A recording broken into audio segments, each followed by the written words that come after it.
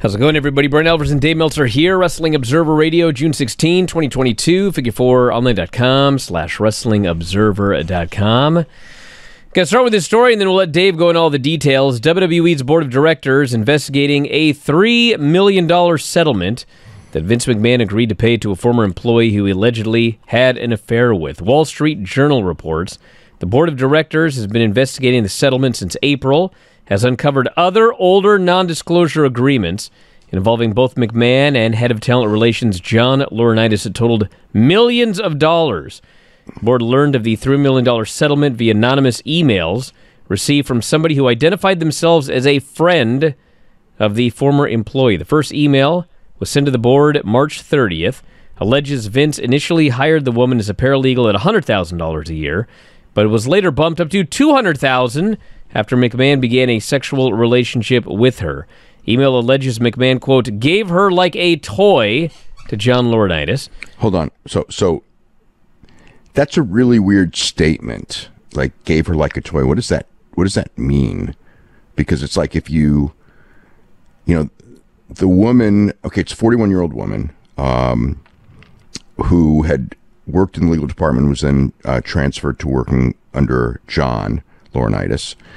And I mean, there's always the big question of a sexual relationship within a company when your boss is involved because of the power that a boss has over an employee, uh, which can make things, um, you know, a lot of companies forbid this.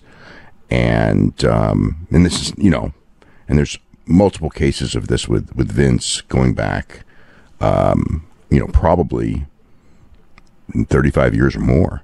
Um, so that, and that's not, that's not necessarily a secret or anything like that. Um, but one of the, the key aspects of this is that, um, Jerry McDevitt, who's obviously representing Vince and who we have not heard from today, um, has said that, that they did not use any company money to, for these deals. And Jerry was involved in negotiating these deals for Vince. Um, um, and also that all of these relationships were consensual. Um, there's always that issue of a consensual relationship between the boss and an employee, especially someone working, working directly um, for them, um, underneath them. Like this was uh, John Laurinaitis' assistant, is the woman in question, and uh, John, as many of you know, is uh, married to uh, you know uh, the Bella's mother. So um, that's another issue. There's a million issues involved in this one. Uh, but you know that the, the the one of the key things in this in this story is if he Vince bumped her salary from 100,000 to 200,000 upon commencing an affair with this woman, then that is uh, that is company money, and that changes the dynamics the dynamics are bad either way, but um, I know from people in the company that they believe that that one could be the most damaging.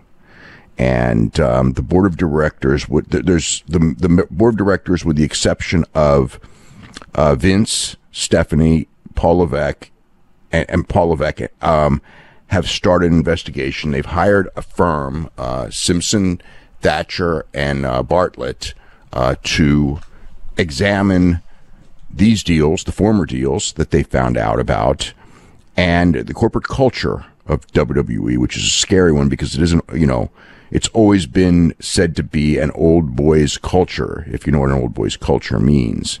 And um, and also their human resources and also their you know compliance and things like this. So the company is being investigated. It's an independent investigation. Um, it's all coming out like literally right now. One of the points that I also want to make before we go on is that um, the investigation is being headed by Man Jit Singh, who is a member of the board of directors, um, and the McMahon family members are not involved. Now there's like the big question. This the board of directors started getting this information a couple months ago. They got the information before Stephanie quit, so that so so Stephanie would have known about this before she quit. Whether this is tied in or not, we do not know, but it is um, the timing becomes very very interesting um, because of her leaving and then of her being buried on the way out. And when all of these stories broke, both her leaving and her being buried later, when that came out a couple weeks later, we kept saying like, "There's there's more. To, why would Vince bury her?" And and you know, I still don't have an answer as to why, but this does add an element of you know another dynamic of everything that was going on while this was going on. So continue. Settlement, which took place in January, bars a former employee was hired in 2019 from discussing her relationship with McMahon. Former employee moved from the legal department to become Laurinaitis' assistant 2021. The email said, My friend was so scared, so she quit after Vince McMahon and lawyer Jerry paid her millions of dollars to shut up. Okay, so so um, yeah, Jerry McDevitt allegedly is you know um, was involved in these things. Now Jerry McDevitt has said that uh, said the company did not, or that no company money was used to pay off any of these settlements, and I guess he was the guy who brokered the settlements, and also said that all of these relationships were consensual.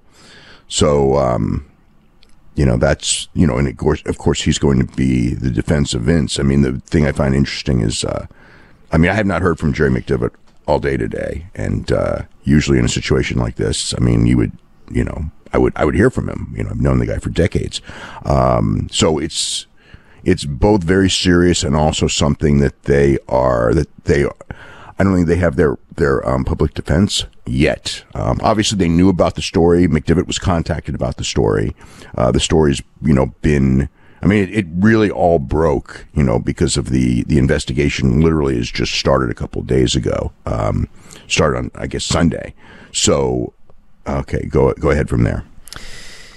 The non-disclosure agreement, which WWE's board of directors received a copy of on June 12th, provided an upfront payment of $1 million to the former employee, with the remaining 2 million to be distributed over the next five years. Reports said that investigators have learned in recent days of other non disclosure agreements involving McMahon and Laurinaitis. Wall Street Journal couldn't confirm how many previous agreements are under investigation. Multiple. WWE I, spokesman. I mean, um, yeah, there's. Like, I don't, I don't want to get into too many details, but it's it's multiple. Yes. WWE spokesman in the report said the company is cooperating fully with the board inquiry, so the relationship with the ex paralegal was consensual. WWE then issued a internal statement to staff, which said, "quote The Wall Street Journal has published a report about WWE with allegations that we and our board of directors take seriously. We're cooperating fully with the independent investigation initiated by our board of directors." So yes, so also story. Okay, so Vince McMahon and John Laurinaitis are going to TV Friday. It is uh, at least as of a couple hours ago. That's what we had heard, and that it they are basically saying it is um, business as usual. Oh yeah, that is what they are saying. Yes. So um, I don't know how it could be business as usual. You know, I mean, and again, like this is very early in the game. Nobody's been fired yet. Not sure if that's Obviously, a good term to use this week. Business as usual. Yeah, I know. Really, when you think about it, um, the, another aspect is you know like um, I mean, look, look, look. Major CEOs, far more powerful than Vince McMahon, have been brought down for less than this. But the defense is, and I know people in the company who have, you know, who who do believe Vince will survive this. Not so sure about John Laurinaitis, but do believe Vince will survive this, you know, with the idea that as long as, you know, there's no company funds used to pay this off, it's just, you know, that that would be okay. I mean, the big thing is, you know, this broke today. It broke after the stock market closed today.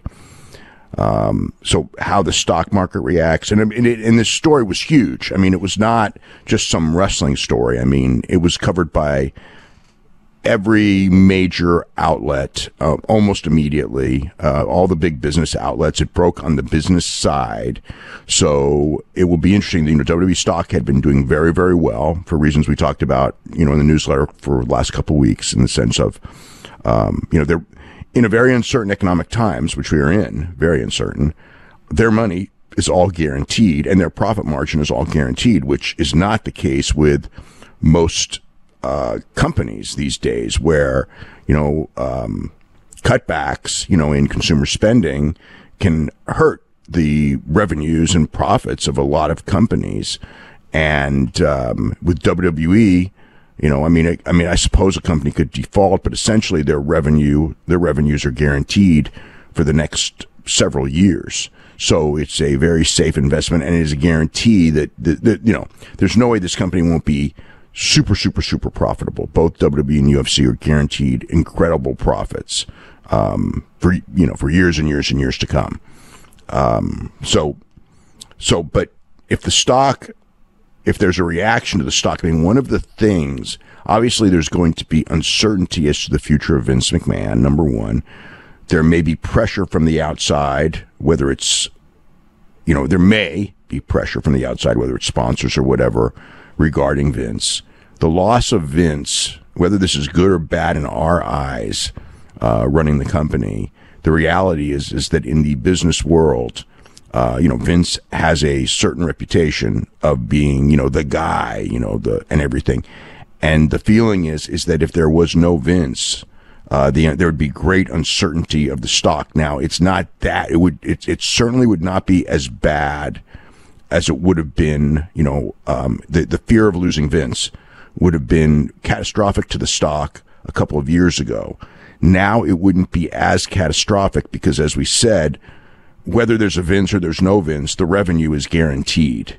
So it's not like, you know, before where this idea that, you know, Vince is this genius that built this business and nobody else can do the business. And if Vince is gone, what the hell happens? The reality is, is that Vince can be gone and all of these revenues are guaranteed for years. Um, so it's not, um, financially as catastrophic. Still, you know, he's the face of the company. And the other aspect is, is if something were to happen with Vince, what is the succession plan? Who is the guy who will be in charge? There will be absolute chaos there. Then there's a question of, will there be a sale?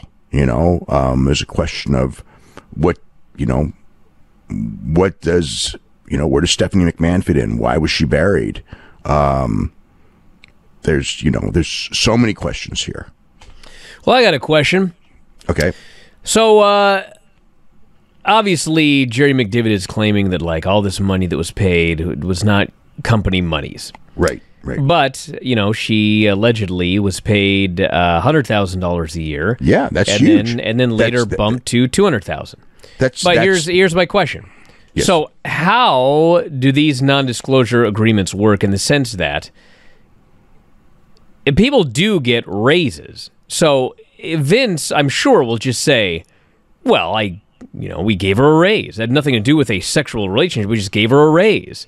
yeah. Well, it's, it's, it's, Uh, Will she be allowed to like because she's according to this non-disclosure she cannot talk about this relationship. Will she be able if if Well, well, that's what the whole investigation. investigated, will she be able to say, well, you know, I do believe that it was solely because of this sexual relationship? I don't know what the details are as far as the investigation goes, but they, you know, I mean, that's that's a key. There, you know, there's going to be, um, you know, I mean, obviously that is a key thing being investigated right now. Now, another aspect of this is like the board has power, but Vince has more. pow- I mean, Vince has, you know, even though Vince does not own a majority of the stock, Vince owns the way that the the stock is set up. Vince owns uh, a, a huge majority of the voting power. So it's not like like Vince can be voted out.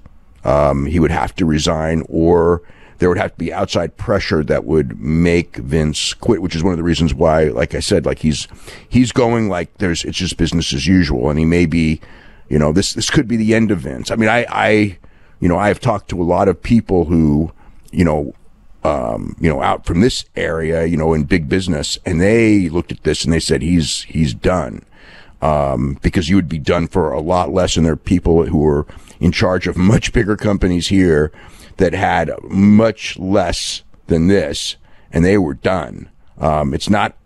It's not. This is not also not a Harvey Weinstein, although it could end up being, but it's not because um, you know Harvey Weinstein, you know, um, who was one of the biggest names who got done in by this. The idea was is that he used his power to end careers and things like that. Um, you know, um, which there's, you know, again, if if it comes out that there's people who have had career changes or something like this, that's an issue. Another issue is is who's going to come out. You know, like when this stuff happens, um, you know, if there's a lot of instances there could be other people coming out publicly on this. You know, that's what happens is, is the, media starts investigating, although they may not because it is wrestling. So that's one of the things Vince has going for him. And one of the reasons that, you know, a lot of his, you know, past improprieties have kind of gone unnoticed except in, um, 1992 when, when the media was investigating him and stuff came out. But in, um, which also brings up the, you know, other stories, you know, um, and I probably should bring up the Rita Chatterton story right now, you know, rather than, uh, because it, it, will be brought up by people and everything like that. So Rita Chatterton was a female referee, the first female referee in WWE. This would be in the, um, mid 80s.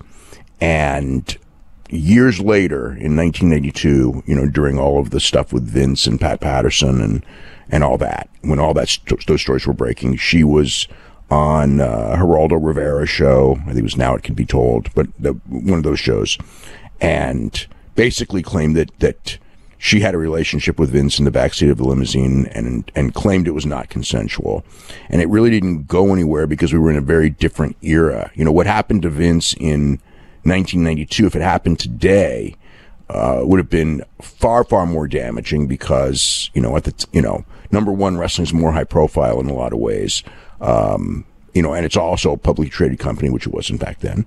Um, and also things like that that were kind of like accepted in society or far less accepted in society now. But, you know, the case was so long ago, a lot of people forgot about it. Now, I, I do want to say that, um, you know, back in those days when this story was, had broken, I mean, and, and, and the Vince having a sexual relationship with Rita Chatterton. I mean, that is, Vince told me that too. I mean, it's like I'm not saying anything that, that, that, you know, I mean, that, that, that one is true. And the question is, was it consensual and was not? And obviously Vince, Vince's story was that it was. And the only thing, and I do want to say this is, um, you know, when that came out, I just remember that, that Tom Zenk and, and now, of course, you know, Tom Zenk is not what I would call a super reliable person, but he did hate Vince um, uh, and, and, Linda a lot for a number of reasons. Um, but he did tell me that you know he'd spoken to Rita Chatterton, and Rita Chatterton had talked to him about you know what happened, and did not you know the indication that Zenk had that everything she said that it was not non-consensual you know, he said like she basically talked that she was whatever, but it was not like Vince forced himself on her, which is what she did say later on Geraldo Rivera.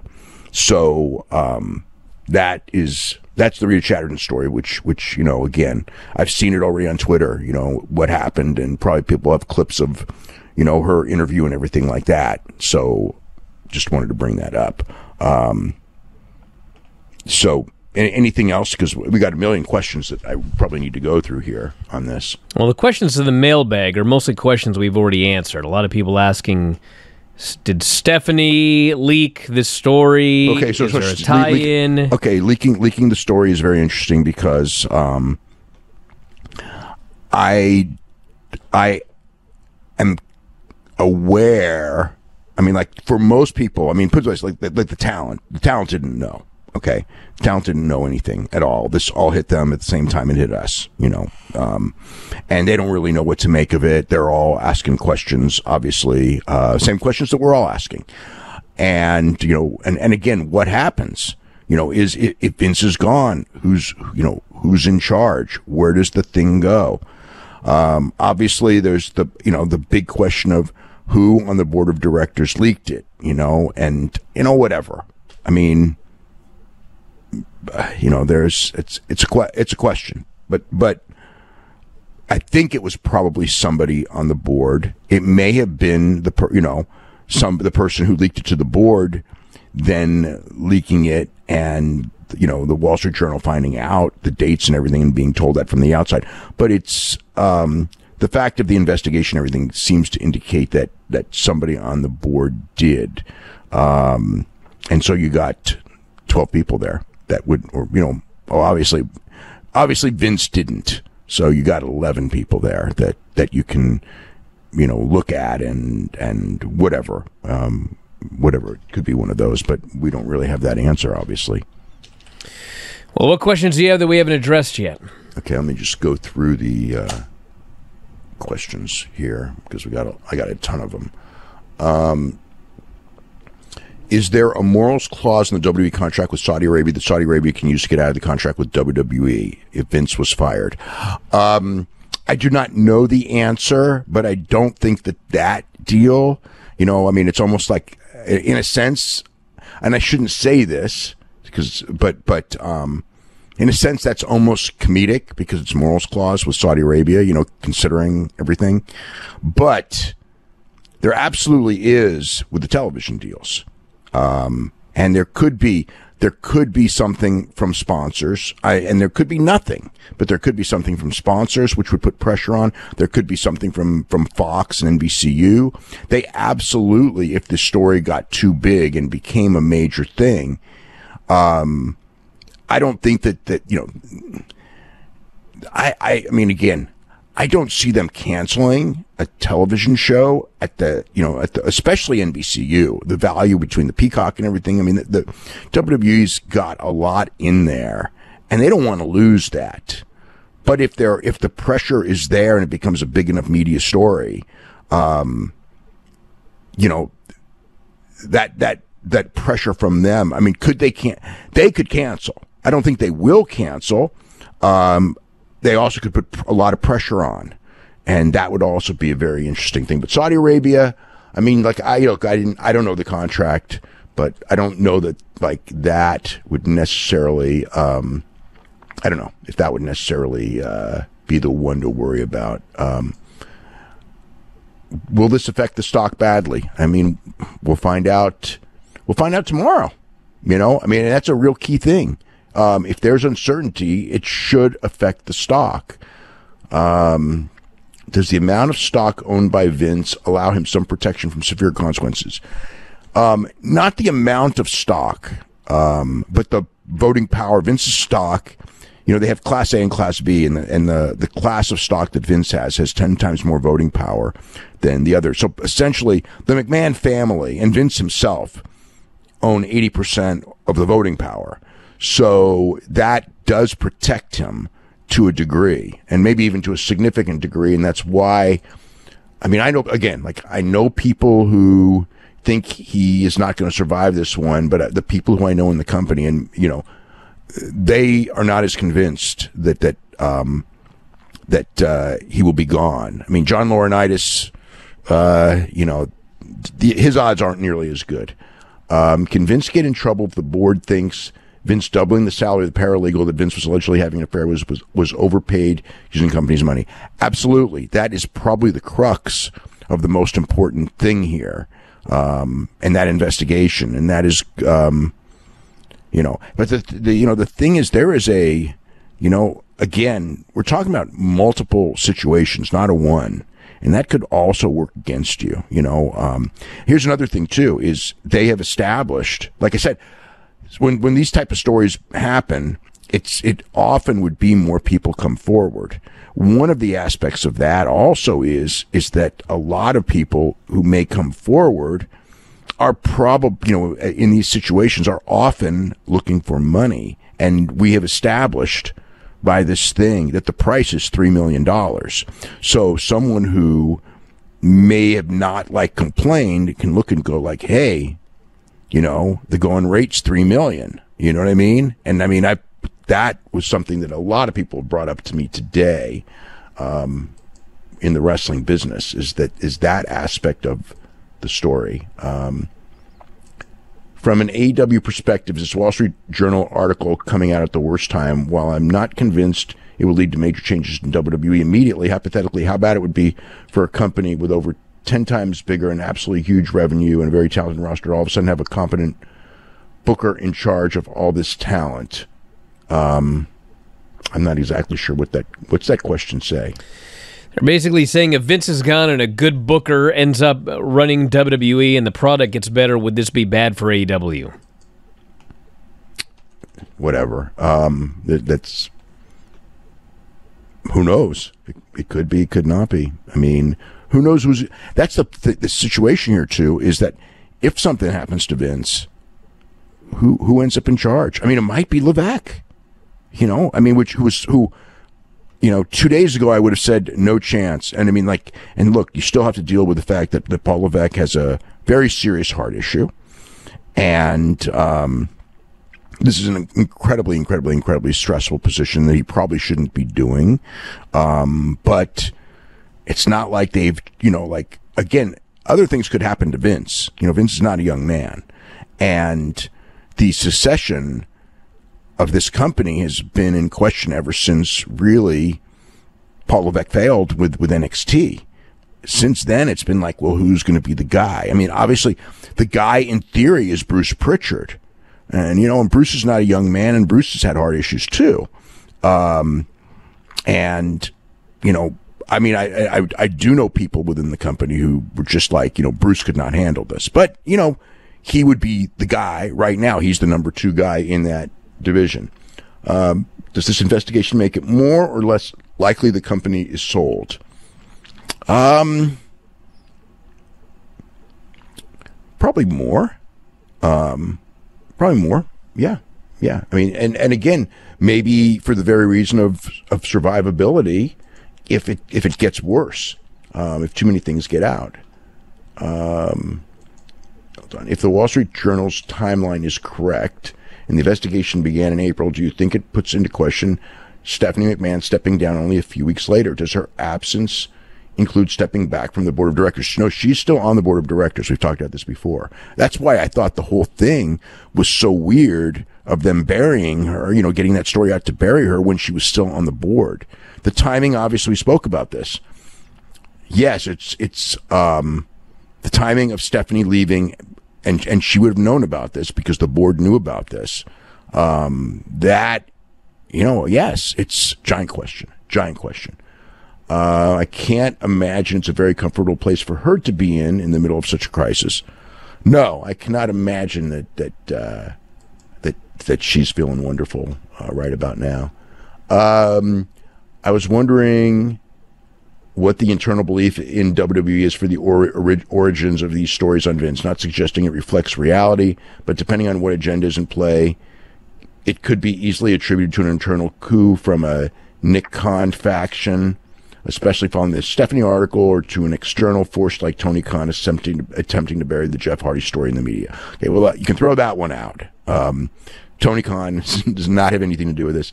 As far as Nick Khan goes, I mean, obviously, there's all kinds of conspiracy theories, a million ones. You know that that he's like a shark and taking over and getting rid of all the McMahons and everything like that. Um, I don't think that there's. I don't know what reality is when it comes to that. Um, you know, it's it's uh, it's a minefield. It's a minefield. But I mean, as far as Internally, no, no one is internally. Nobody's suggested anything like, you know, Nick and Tony Khan. You know, I mean, he, he couldn't do it. He didn't do it. He's not on the board. Um, I would like to know if Vince McMahon does decide to step down, who would replace him? That is a tremendous question. Would that person have the power to sell the company? Well, the board would probably be the person, and, and Nick um, as far as a sale. Um, I have always thought that Nick Khan's role, one of Nick Khan's role, was to uh, get the profit margin as big as possible to help facilitate a potential sale. I think many people have, have felt that that was that was it. So, um, but ultimately, you know, a sale has to be approved by Vince because he owns the voting shares. So, um, it's yeah. So that's still, and if you know, I don't know how Vince would be out out. I mean, he could be out of power, but he still got that the voting share power. So the as far as the deal itself, now the idea of you know would Vince want to sell? I always thought that Vince was um, Vince. You know, there's been talk there for six years of Vince wanting to sell, just getting the right price, and nobody has offered that right price. You know that you know it came ever since. Um, Lorenzo and um, Lorenzo and Frank Fertitta uh, made the deal to sell the company for four billion, which now WWE you could not get WWE for four billion. Then, if you had offered four billion, they'd have they'd have sold in a heartbeat in 2016. But the value of WWE and of big businesses and everything has escalated greatly in the last six years, and it would take you know their their company stock value right now alone is five, and you would have to get more than that.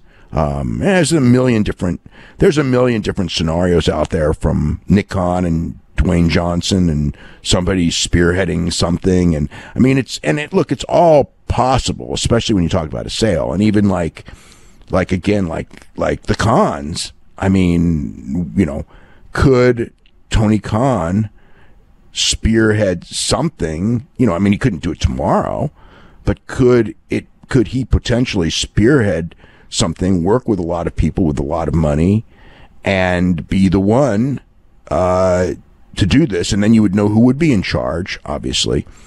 I don't know if there's going to be anything to that, but if you're going to place a bet on people, I mean, he's someone who would have interest. He's someone who would certainly have the connections uh, to potentially come up with that the kind of money if they were looking to sell. You know, I mean, obviously the the smart people to buy this is NBC Universal because they're the ones who are spending 465 million dollars a year on this thing, and in, if they were to spend five billion, um, you know, considering how much that these rates are probably going to escalate over the years, um, you know, it would, you know, like like you use the math and say it would take, you know, they'll, they'll make it up in 11 years. It's probably a lot less than 11 years. It's probably closer to eight.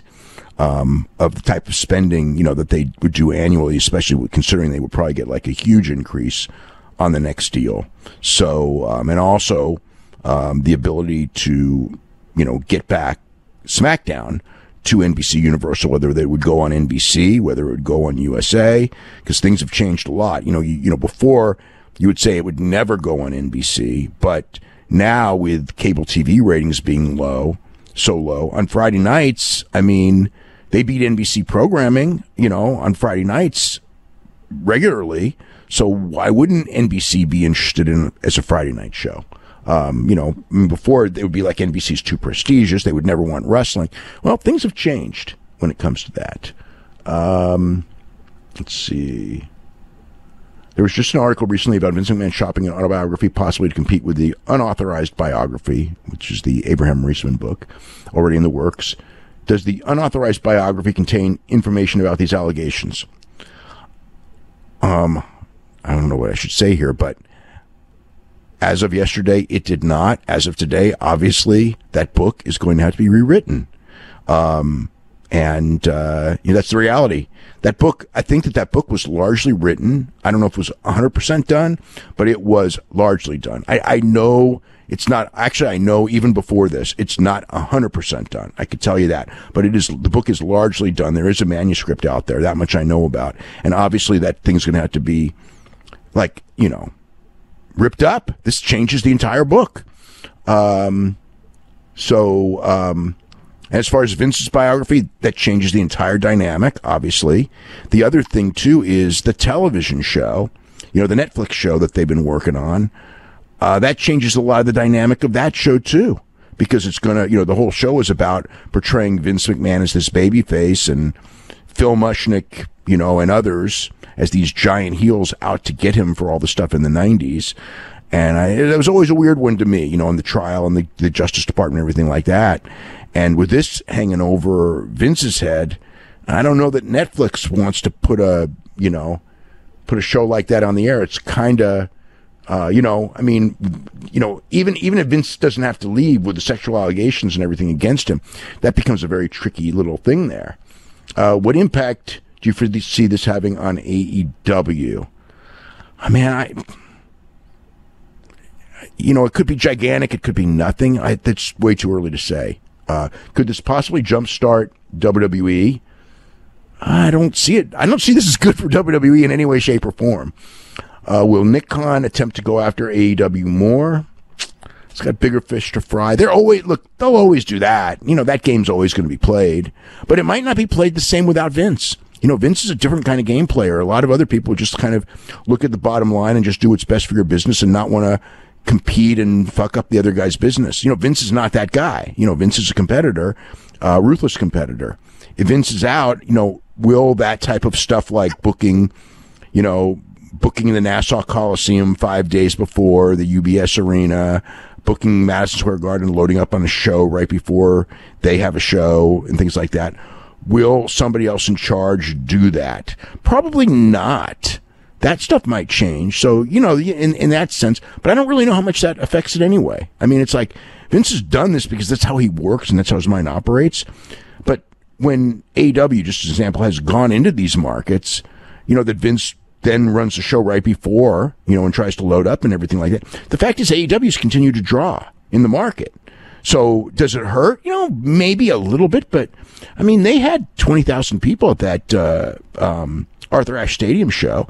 And even the last show, you know, they had a, they had, what was it, over 8,000 people, you know, for, you know, uh, uh, the show at the UBS Arena, the last one they ran, you know, with WWE at the Nassau Coliseum just a few days earlier trying to counter program. And they, you know, so I mean, how much more would they have drawn? I mean, maybe some, but but not. It's not like that. It's it's not like WWE running keeps them from drawing fifteen thousand and drags them down to eight. That's it, that's just not the case. Um, who was on the board and what is their loyalty? There's a bunch of different people on the board. Um, will there be potential blowback on the leaker? Who knows? Um, Let's do how, two more. Two soon will, this, this, this is this is this is this is a bunch of questions just here alone. Um, how soon will Vince be out? We don't know this. Um, what is the production status of the various books and documentaries on Vince? Um, yeah, I think I pretty much answered that one. Um, who are Vince loyalists we could expect to see exiting with Vince? Um, I mean, look, there's, there will be there will be a lot of people in when these if, if there are changes and if Vince is gone, there will be a major turnover. I mean, Kevin Dunn probably, but you know, it all depends on who gets power.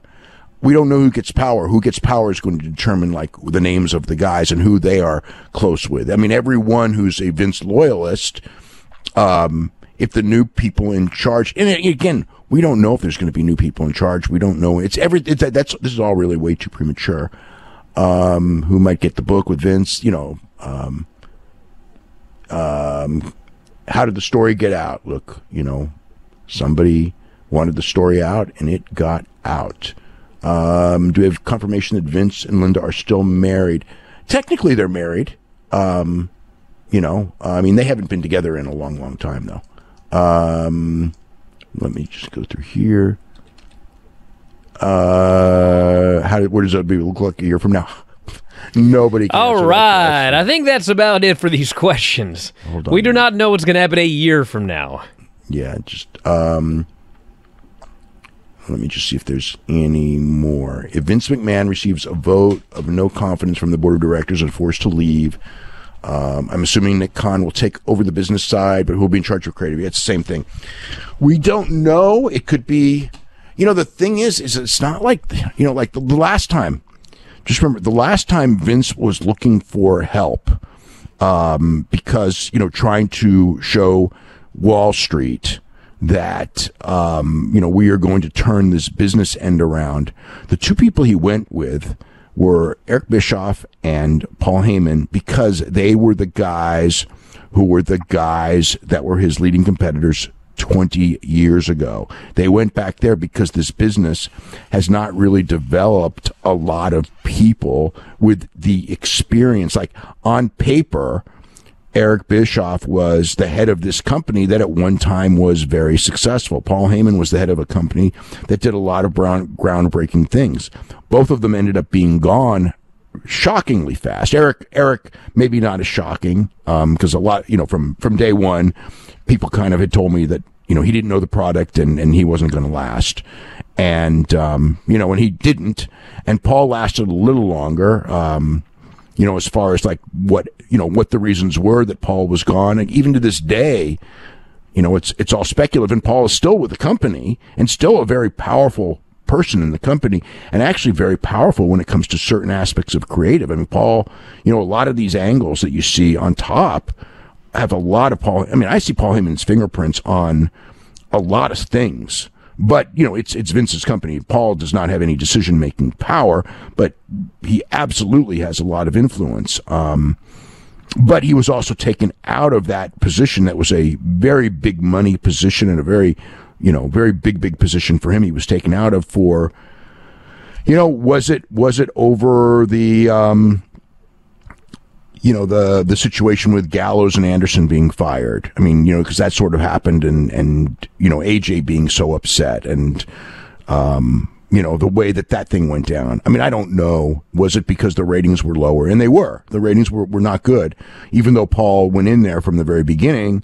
And his thing was, is look, the ratings are going to go down because it's going to take 18 months, two years, whatever the time frame is to really get these new guys over that I wanted to get over.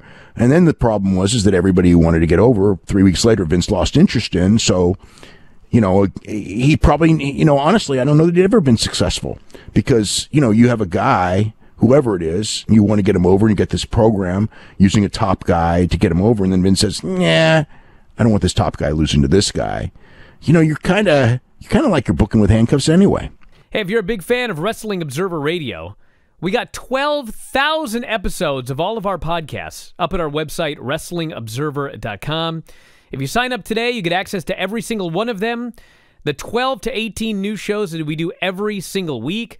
You can podcast them, listen to them on the road, at work working out, in the shower, wherever you listen to your podcasts, and also full access to the Wrestling Observer newsletter and archives. So if you love what you hear, head to WrestlingObserver.com. 12,000 audio shows at your fingertips.